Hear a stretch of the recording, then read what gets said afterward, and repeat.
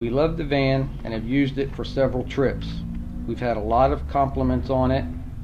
I take it to the stroke support meetings and people have really shown an interest in it. We also used your bill of sale when we had our taxes done. Thanks again for all your help. Regards Sue and Jim C. from Florida.